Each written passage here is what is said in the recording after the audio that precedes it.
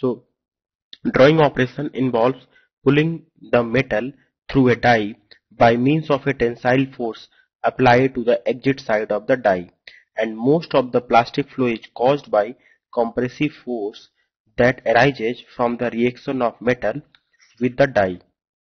So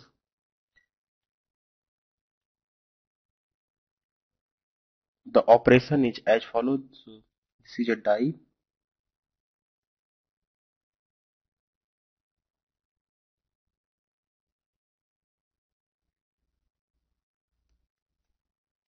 so this metal is pulled.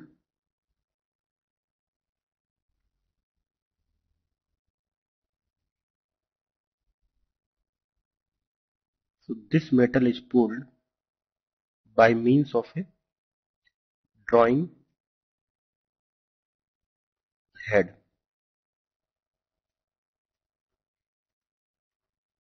So this is drawing head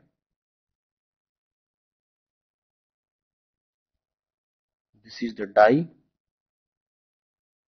This is the die holder.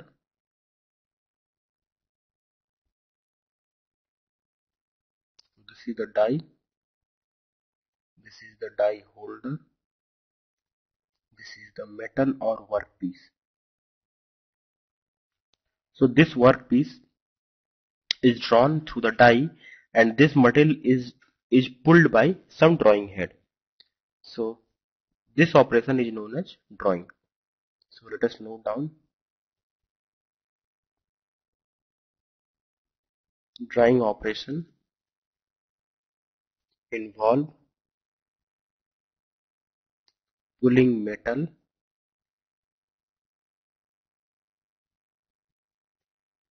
through a die by means of tensile force applied to the exit side of the die. And most of the plastic flow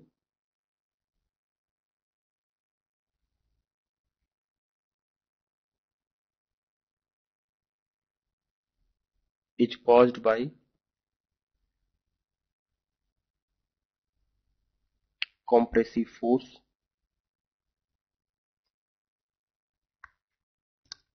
Caused by compressive force which arises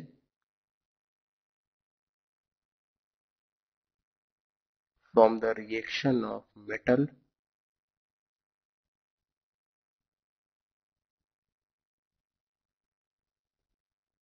with the die. So basically this die apply a compressive force on the metal and this flow takes place. And the reduction in diameter of a solid bar or rod by successive drawing is known as bar, rod or wire drawing. So the reduction in diameter of a solid bar.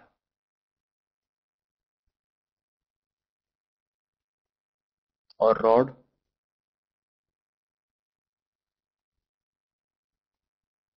By successive drawing.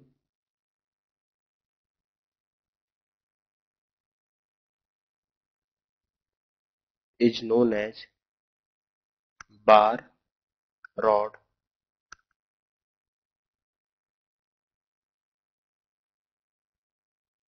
or wire drawing depending on the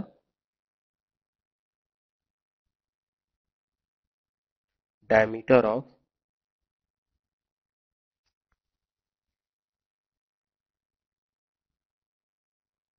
final product. Now with respect to hollow tube there is one difference when a hollow tube is drawn without any mandrel so this is known as tube sinking and when mandrel is used it is known as tube drawing so for hollow tube. The drawing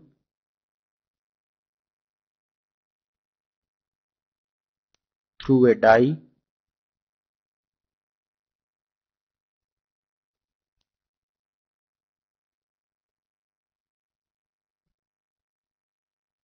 without any mandrel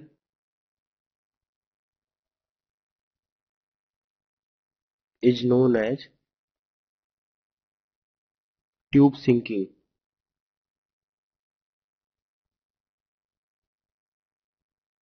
While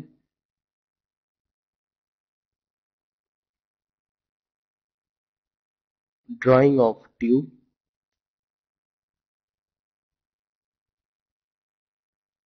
with the help of mandrel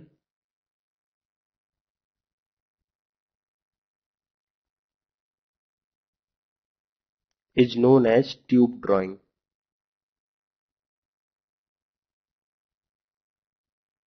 So in drawing operation, the most important function is being played by the die.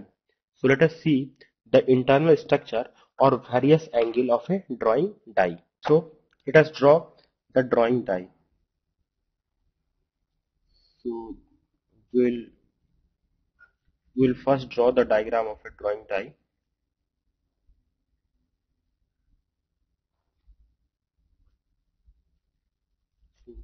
Is the center line of a drawing die.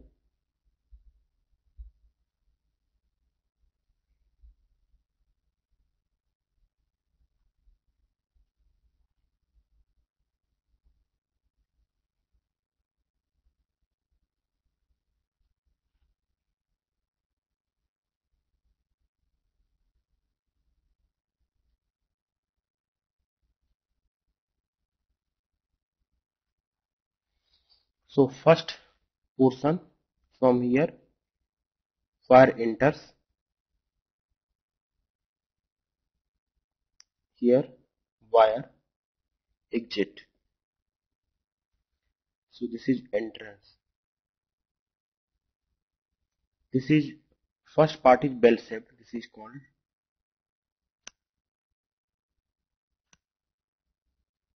this is bell shaped this is called approach angle.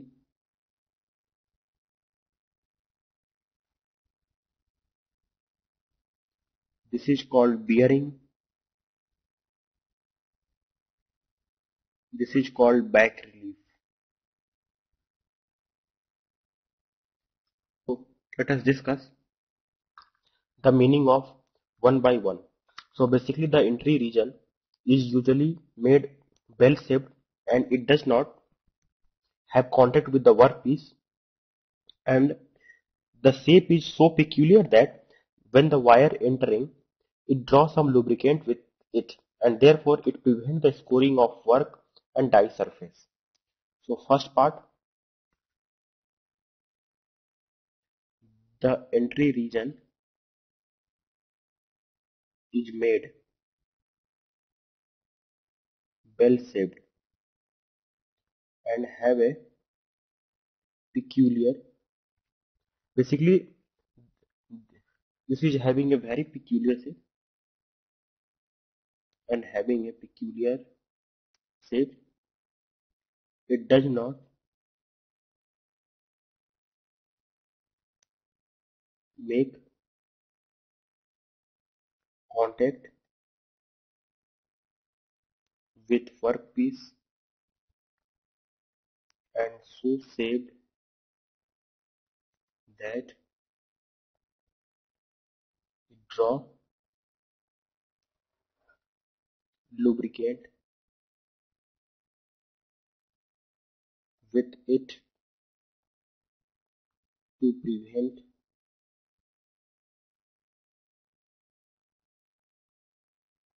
scoring of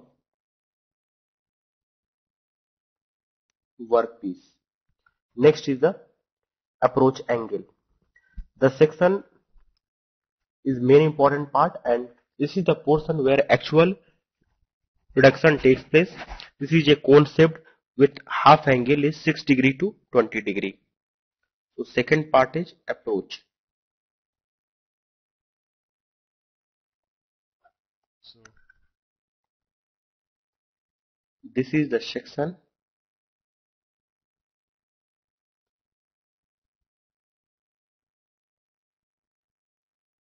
where actual reduction takes place. And it is made cone shaped having half cone angle 6 degree to 20 degree. Now the third part is bearing. So this part is called bearing. So bearing does not cause any reduction but it produces a friction drag on the wire and the main function is to refinish without any damage to the wire. And this is the section which will determine the final diameter or final size of the drawn wire. So third is the bearing. So this portion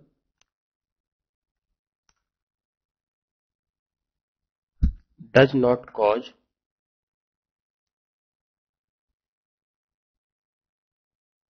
any reduction in size but it produces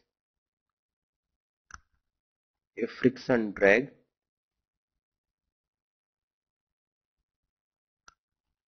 on the wire.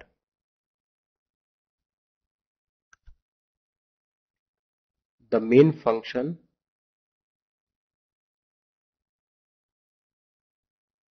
of bearing is to refinish the wire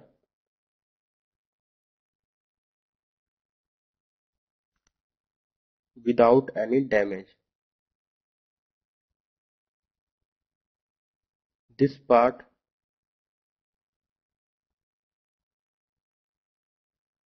determine the final size of drawn wire and the last part is back relief so this back relief allow the wire to expand slightly. And the back angle and the back relief angle is provided with angle 60 degree or or half angle is 30 degree. So fourth part is back relief.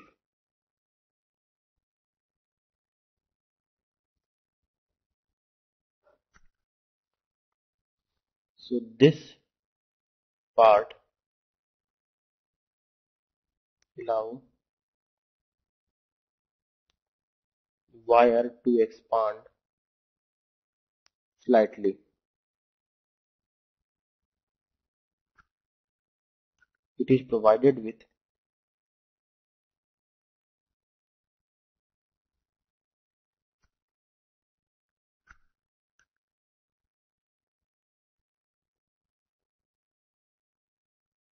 back relief angle of 30 degree. This is the half angle. Now next important part is lubrication used in the drawing operation. So normally soap lubrication is pop pop popularly used and sometimes copper coating or zinc, zinc coating is also used. So lubrication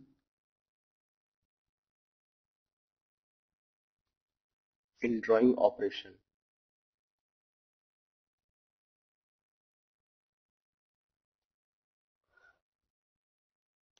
Soap is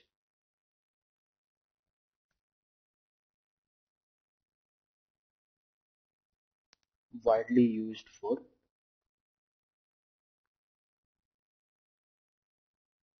lubrication in drawing operation.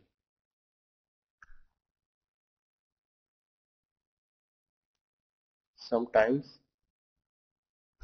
copper or tin coating is also used. Next important point is the defect in drawing operation.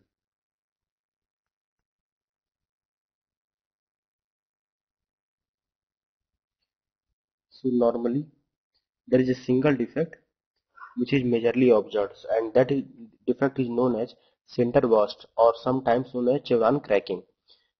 This defect is also known as cupping in case of drawing and this defect mainly occurs due to low die angle at low reduction.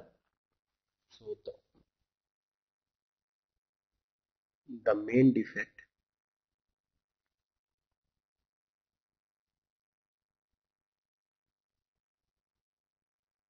in drawing operation is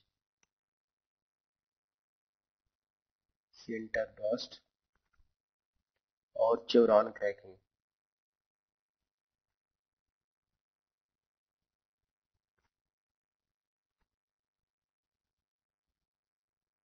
This occur mainly due to low die angle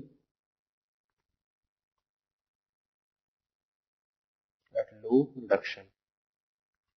And the defect looks like as follows. So suppose this is the drawn wire. This is the center line. So this defect has cracking at the center like this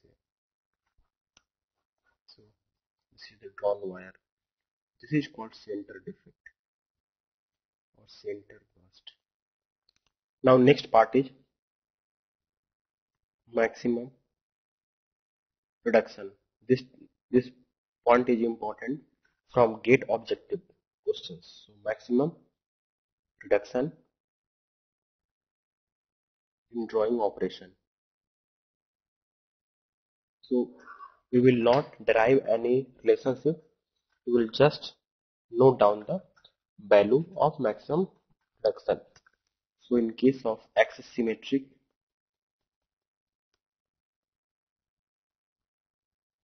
axis symmetric such as rod etc the maximum reduction is 63% and in case of strip drawing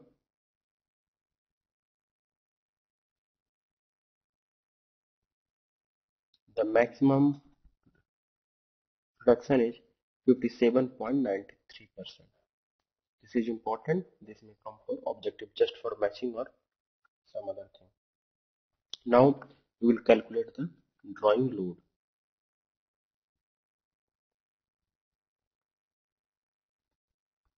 So the following formula is used for drawing load. So basically this is called as drawing stress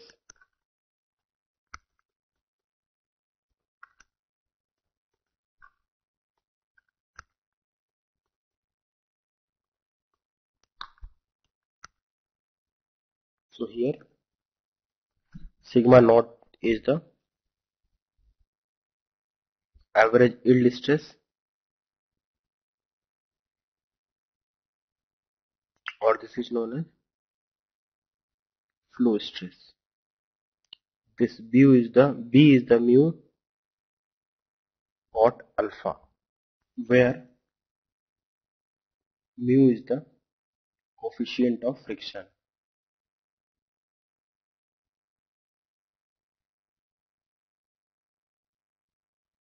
and alpha is the half die angle. Sigma d is the drawing stress. This R1 and R2. So this R1 is the initial billet radius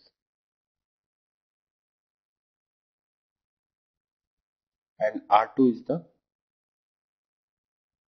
final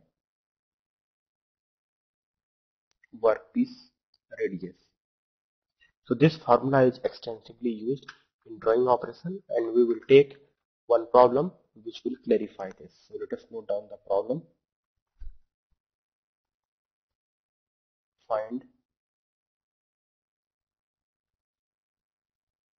drawing load for 30% reduction in area on 10 mm diameter.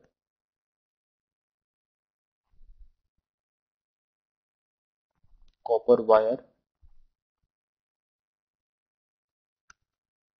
The yield stress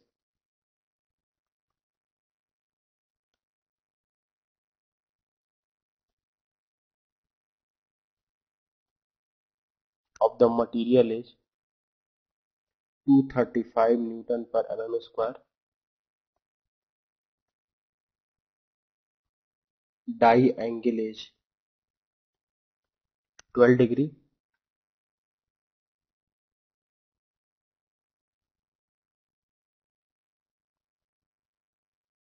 and coefficient of friction mu equal to 0.08. Let us solve the given problem. So first we will calculate drawing stress. So you know that drawing stress sigma d equal to sigma naught 1 plus b by b 1 minus r2 by r1 power b sorry power 2b first we will calculate the value of b so we know that b equal to mu cot alpha. The value of mu is given as 0.08. Cot alpha. Alpha is a half angle. The die angle is given as 12 degree. So half angle will be 6 degree. So this will come 0.76115. So value of B will be 0.76115. Now the value of sigma naught which is the average yield stress of the material this is given as 235 Newton per mm square. The next point is R1 and R2.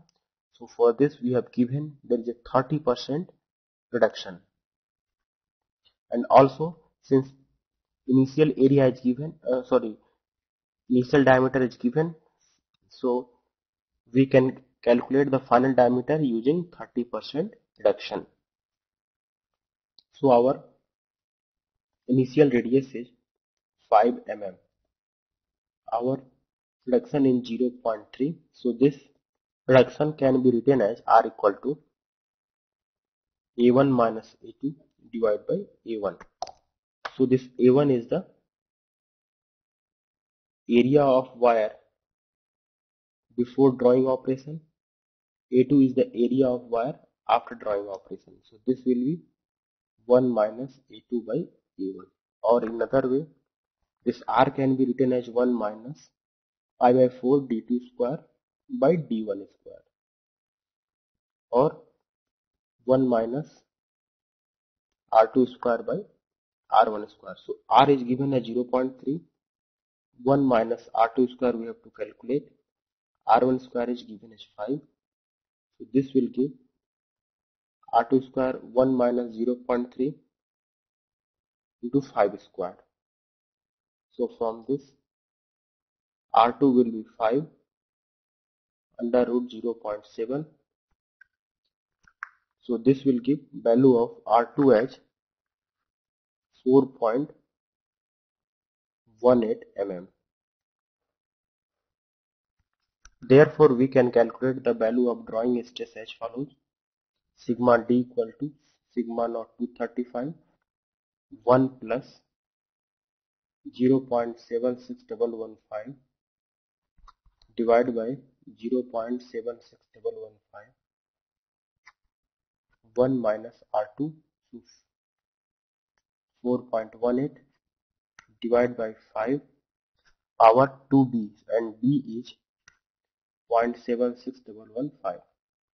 So this will give value of sigma d as 129.275 Newton per meter square. So this will be the value of drawing stress. So this is the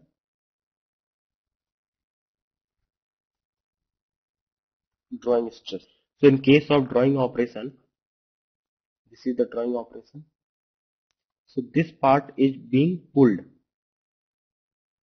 So the drawing load will be on this part. So for calculating drawing load we will take area A2 not area A1. So for drawing this is A1 this is A2. So for drawing load we will take part A2 not A1. So A2 can be calculated as pi by 4 D2 square. So pi by 4 D2 will be our radius is 4.18 mm. So 4.18 into 2 square. This will be in mm square. So 54.9778 mm square. And from this we can write drawing load equal to drawing stress into area A2 and therefore the value of drawing stress is given as 129.275 into the value of area is 54.9778 so this will be in terms of Newton. So this will give 7164 Newton. So this can be calculated as 7.164 kilonewton. Therefore the drawing load for present